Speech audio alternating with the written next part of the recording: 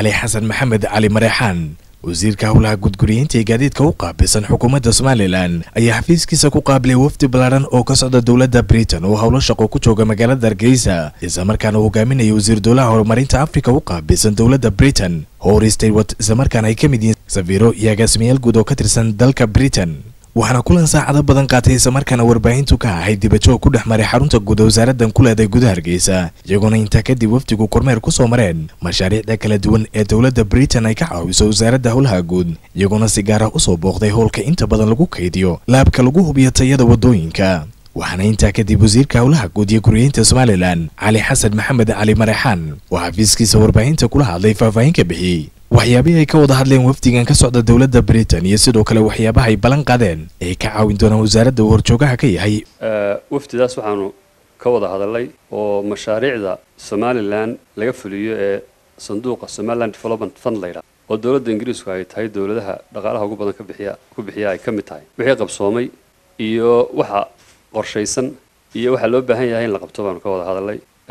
waxaanu muuqaal iyo kormeerba ku tusnay ilaa hadda mashaariicdii qabsoomay oo waddooyinkii fulay iyo mashaariicda kale ay maalgeliyeen ee r d a ay u maalgeliyeen wakaaladda horumarinta waddooyinka somalilan oo ah laabkii lagu eegayey waddooyinka iyo qualitygooda oo etoobiya loo doonan jiray imika halkan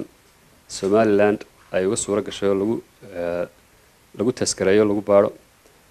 Kulanka waxaa nagala qayb galay gaadiidleyda reer somalilan iyo contractorskii waddooyinka dhisay waxaana runtii ujeeddadu ay ahayd in gaadiidku ay soo bandhigeen faa'iidada ay ka heleen iyo isu socodka gaadiidka oo fududaaday iyo qiimihii baabuurta lagu raacayay oo hoos u dhacay iyo accidentkii iyo dhibaatooyinkii waddada. Maadaama oo somalilan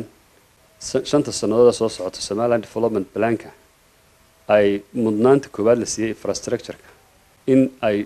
sii wadaan deeqdii ay somalilan siin jireen infrastructureka iyo kaabayaasha dhaqaalaha oo waddooyinku ay halbowlo u yihiin way runtii naga ballan qaadeen. Waxaanu si gaara uga codsanay waddooyinka iminka qabyada. Kuwii hore ee dhammaaday mooyaane kuwa iminka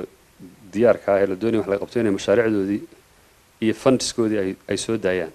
Faysal maxamed aadan faysal fifa t v-ga caalamiga somaali cable magaalada hargeysa